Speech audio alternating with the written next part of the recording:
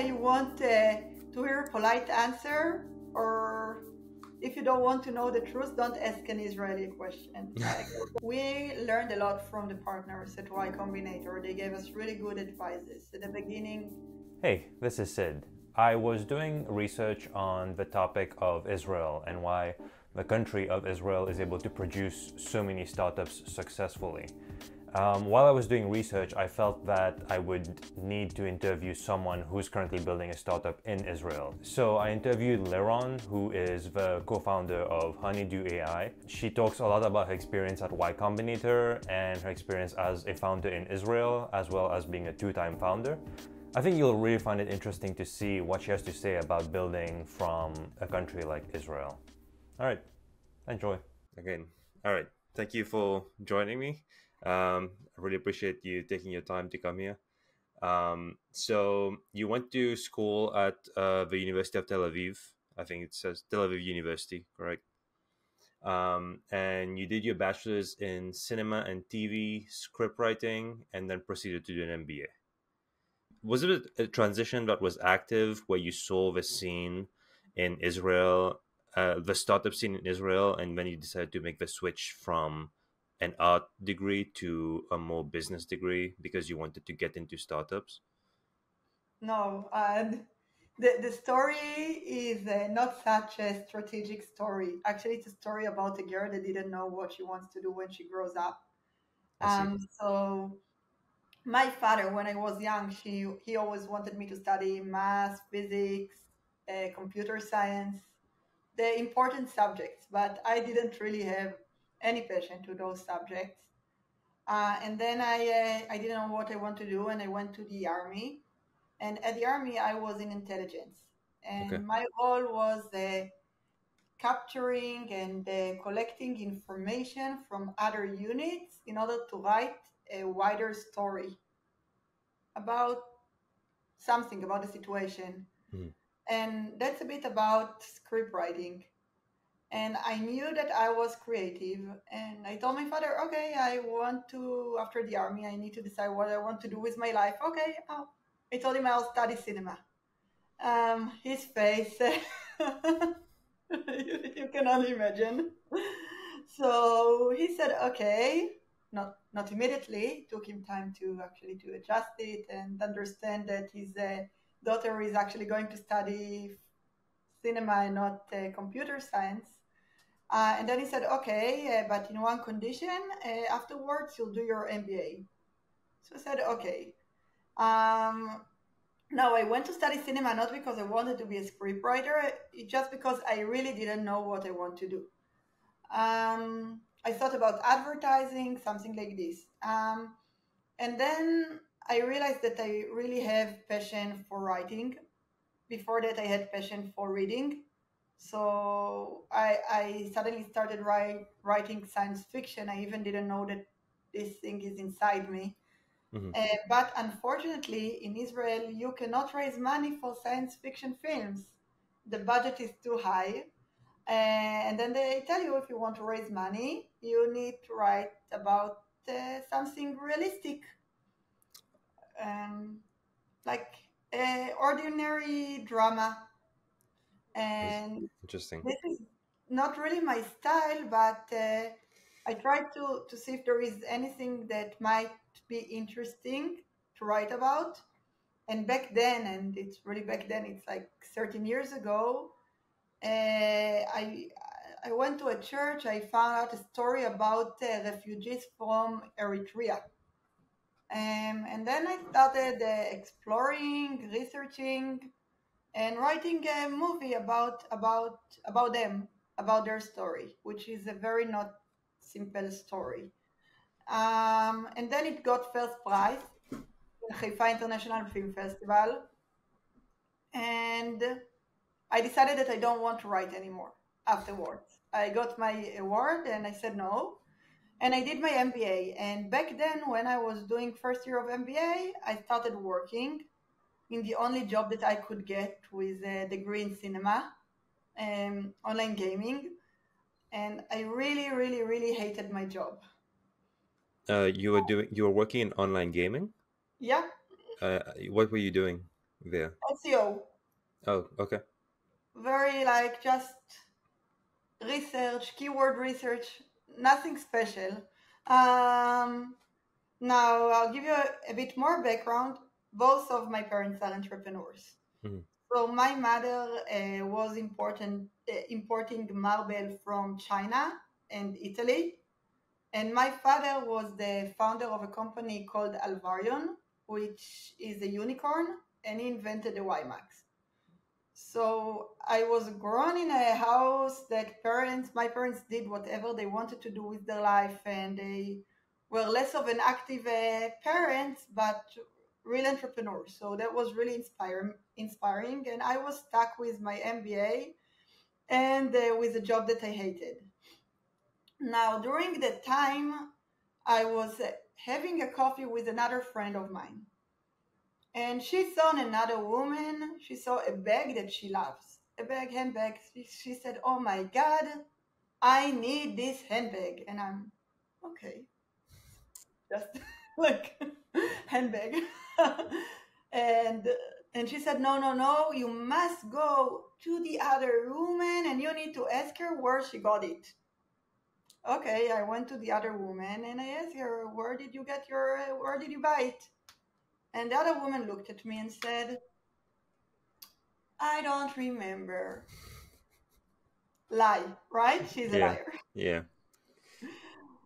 But now, from a scriptwriter point of view, that was very interesting. Why did she lie? So I went back home and I told my father, listen, there is a weird need of identifying fashion items from a distance. Now, that was 10 years ago. Mm-hmm. And he said, "Oh, this is really interesting." And we started like working on it, like thinking about it, but like a hobby.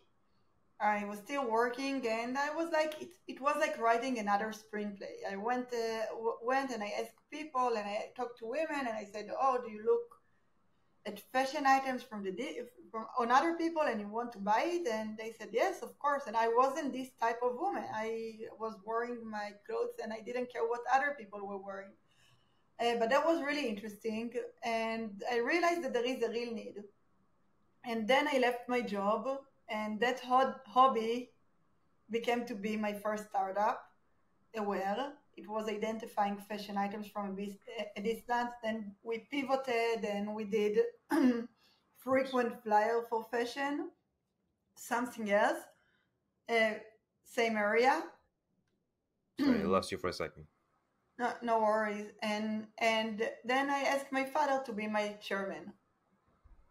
So the last startup last seven years, died with COVID, but that was a real adventure. And for your question, when I raised money to my first startup, and I was a solo founder and a female founder, um, VCs asked me what the connection between cinema and being an entrepreneur. Mm-hmm. And I I told them what's the connection between engineering and being an entrepreneur because in cinema I needed to think about an idea, to raise money for that idea, so I needed to make an investor deck for vision. And the vision needed to be winning the Oscar. And then I needed to gather a team. And then I needed to gather information. And then I needed to write it, uh, write it. And then I needed to live it like it was part of me. Um, and this is doing a startup. So now I know that the degree I was doing back then is very relevant to what I'm doing now. But then I didn't know that this is going to be my future. Understood. Okay, so there's like some inspiration from your family, but also the creativity that you got from your degree and your natural keen to problem solving, like a lot of things just coming together to it it wasn't like an active decision, but it just turned out to be this way. Exactly. Yeah, that's beautiful. So you said you worked on Aware and now you're at Honeydew AI. So if you had to describe, you already described uh, Aware, um, but if you want to go into more details and also describe Honeydew, uh, how would you describe each of them? So Aware was really simple, frequent flyer for fashion. The more you wear your clothes, the more points you get. because we built a platform that we said that any person who wears a logo is the brand ambassador and he should get money for doing it. It, it involved hardware and software and lots of complexity, mainly with hardware problems, like how to make a chip that is really small embedded inside the garments, but business problem as well, how you um, convince a fashion brand CEO to to change his production line and embed those chips inside the production line? And how do you uh, convince users to download an app and activate the item and give you the data mm-hmm. about how they're using? And Honeydew is a shared source of truth for data teams. So basically, we're building a platform and we make sure that uh, anyone at the company is working on the same KPIs we learned that companies are doing bad decisions just because uh, business terms like active user or churn are not defined correctly or there is disagreement about how you calculate them um, and i saw on your linkedin that you're an analyst right i am an analyst yep so this is resonating with me. I'm, I'm, you're bringing back, you're bringing me back to work right now. So sorry about it. I'm so sorry for doing it. Um, so, uh, how did you end up coming to that problem statement that companies are not using the same, uh, they're not sharing the same truth and they're not using the same KPI? So, first, we're three co founders uh, and all of us experience from our past experience exactly the same uh, uh, problem. So David Krakov is the CEO, and he was the co-founder of a startup called Varada. He got acquired by Starburst, and they did data lake acceleration. Baruch Hoxman is the CTO, and he was uh, the first employee of a startup that got acquired by Salesforce, and he was building Einstein for Sales. So we tackled the problem from a different angle. And myself at Aware, we were selling data to fashion brands. So when I was talking to fashion brands executives, I saw how they took their own decisions and I saw them not trusting the data and not trusting their data analysts and putting millions of dollars on wrong campaigns, not based on data, just because the numbers in the end of the day they did they just got different numbers. So they said okay i don't believe him. I don't believe you. This is my decision. And companies were really not data driven and the problem is much deeper than the you see the problem the result of the problem with the executives but the problem starts like down there with the data analysts yeah Okay. And, and then after we after we thought about it and each one of us experienced this problem, so because it's the second startup of all of us, we said, okay, we're not writing anything, we're not doing a product. First thing we wanted to do is talking to strangers, to data analysts, engineers, team leaders, chief data officers. And we just had cold calls on LinkedIn with over 200 uh, data people and asked them if they experienced this challenge and what they're doing now to solve it. We realized that we have something once they told us, okay, we know you don't have a product, but once you have a product, we want it now because this problem is huge for me and I suffer from it. And then we said, okay, so we're on something. It's not just our own problem. So let's start building. Wow, 200 people. That's uh that's a lot of people to cold call but yeah, it, yeah. I guess um, the ethos to Y Combinator is to be talking to your customers. Um, so by the time you guys had joined Y Combinator and stuff, had you guys already started working on the idea or and talking to customers? So, and when did you decide to join Y Combinator? So again, like all the good things, it happens by chance. But uh, uh, we already like started building a product. We had early customers and we were working together. And then a friend of mine was in a previous batch and he said, You should apply to Y Combinator. And I said, Okay, they're awesome. They're really smart people there. We'll apply. We'll, we'll probably not get in, but we'll give it a shot. And we applied, and we already raised our pre seed round. And then uh, they told us that we got in, and we were really excited about this opportunity. I see. So you guys had already raised money before Y Combinator, and Yeah, then you guys got another pre-seed round from Y Combinator as well. yeah, you, uh, more like a seed, yes. Got it. Got it. And um, so you guys, when you guys uh, joined Y Combinator, did you stay in Israel or did you have to fly to San Francisco and work there? So we all have uh, small kids. My I have two, five years old and three years old, and David and uh, Baruch have small kids as well. So we rotate. We once a week, one of us was flying, and uh, we met our mentors and batchmates I see. back and forth. Makes sense. Does make sense. And uh, so I guess you guys are from Israel. You guys grew up in Israel. Is that what were there other reasons for you guys to set camp in Israel? And you guys are in Tel Aviv, right? Yeah. So, uh, uh, what are some of the reasons that you guys thought it was logical to be in Tel Aviv as a company and set up there? So we're all from Israel. The company is a corporate in the US. Mhm. So, but we're in Israel, and Israel and Tel Aviv is basically the startup nation. There is lots of technology here, lots of very talented developers here.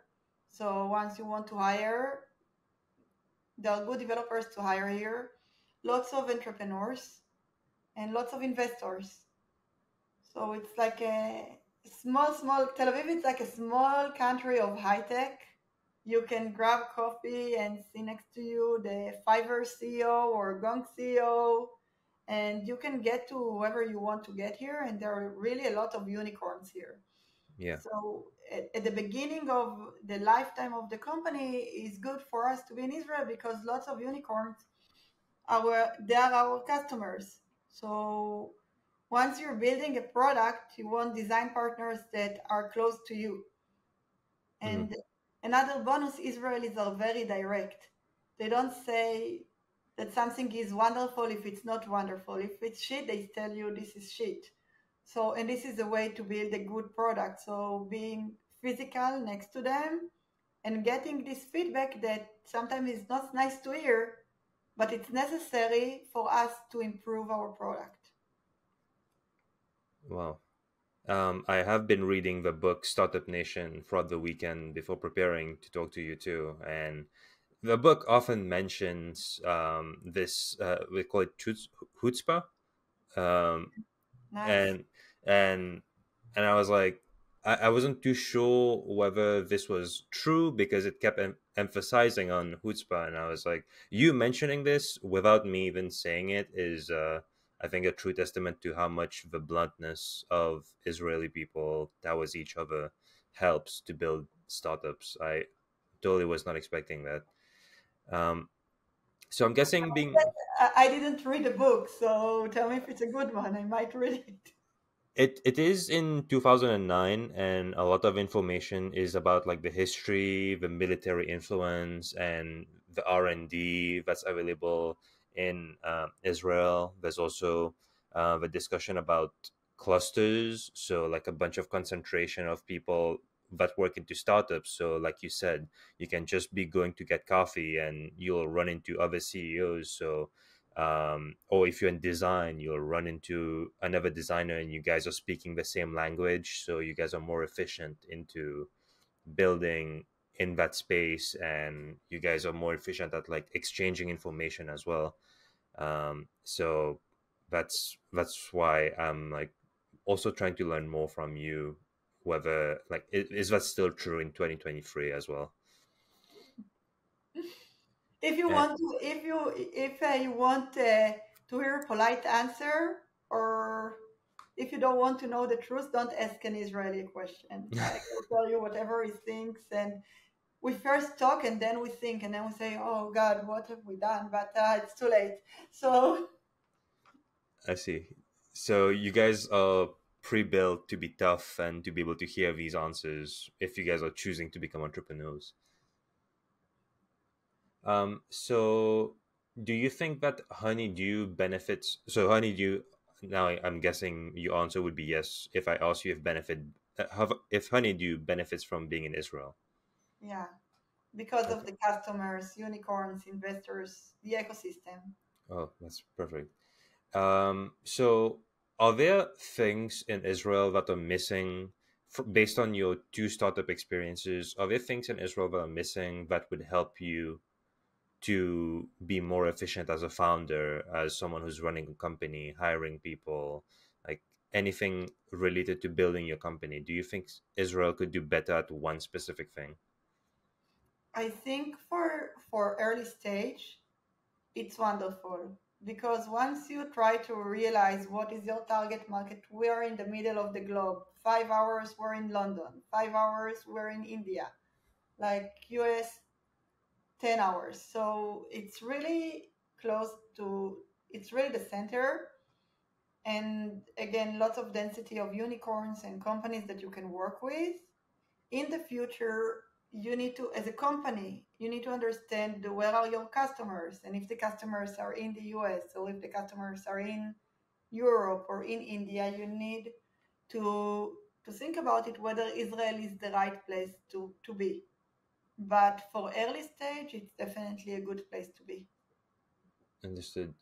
Um, uh, there was a part in the book uh, that i was reading where they were saying that vcs would help connect um, founders to the united states market or any international market um, would you say that beyond the growth stage at some point you guys have to be on your own or you guys have to move back to move to somewhere outside of Israel to maintain like a company beyond the growth stage?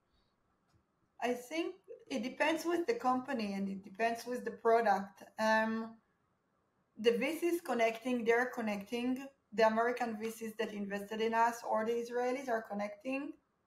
And again, it depends what who is the, the partner and if he wants to help you because sometimes VCs just write a check and give you the check and they don't care what happens with you.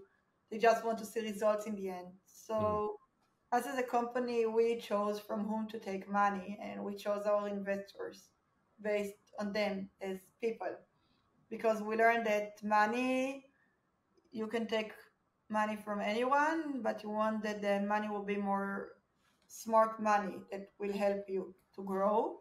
Mm-hmm. And again, it depends with the company and with us. I don't know if we'll be still in Israel next year or move to somewhere else. Now it's a good phase for us, but again, depends where is the market, customers, where is the product. Understood. Understood. Um, so you also, I mean, you, I, I guess you already mentioned this. I was going to ask you if um, you serving in the military helped in becoming a better founder? I think this is one unique thing for Israelis. It helped because imagine you just finished high school and now you're 18. Me in the age of 18, I did a combat basic training and I was staying for three months in the desert in a tent. Then I moved from that and I'm 18. I'm, I'm a kid, basically. Then I moved to intelligence and I needed to take really important decisions that could affect other people's lives. And this is a huge responsibility. And then you get matured. So you become resilient. You know how to talk to other people to get your information. So you become more outgoing and you need to use your elbows if you want, if you need something fast or something is important and someone else is busy. So you don't care that he's busy because someone other people's lives is depend on it. So you you're again a kid and you need to do anything you can just to take this information and move it forward. I think it helps to be a better entrepreneur.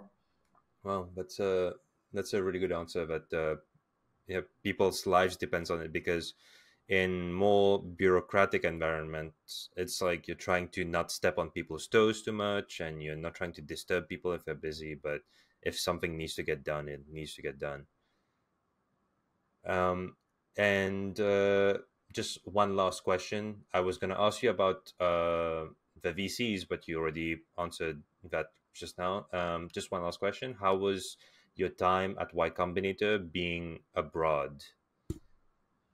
I think we we we learned a lot from the partners at Y Combinator. They gave us really good advices. At the beginning, we saw that our go-to market need to be more PLG, and they they didn't agree with us, and they said you need to be B2B, which was right, but we saw something else. So we learned a lot from the partners.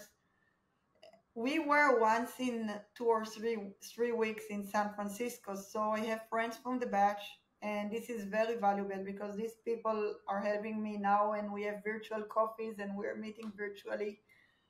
It probably would be better to stay there but due to the uh, circumstances of being with being a parent you cannot leave your family even though there were entrepreneurs that left their family and, and i really appreciate them but they left their family and went to y combinator and uh, stayed there for three months wow fascinating. So you do benefit from the network and the advice that you got from there. That's beautiful. Yeah. That's that's great. Um, I think that's a lot of information that I just got from you. Um, you confirmed a lot of what I learned from the book that I just read, and also about Israeli life as a founder. I mean, from having parents that were entrepreneurs to that inspiring you throughout your journey through people around you being entrepreneurial as well. And i think it this is a lot of good stuff. Um, i really appreciate you for giving me all this insight through this interview. Thank you for inviting me sid. I really appreciate it. Is there anything you'd like to plug throughout this interview or if you have a problem at your organization with a shared source of truth so come and talk to us. All right, honeydew.ai. I will include the link in the description for the video. Thank you. All right, thank you so much. I'll stop the recording.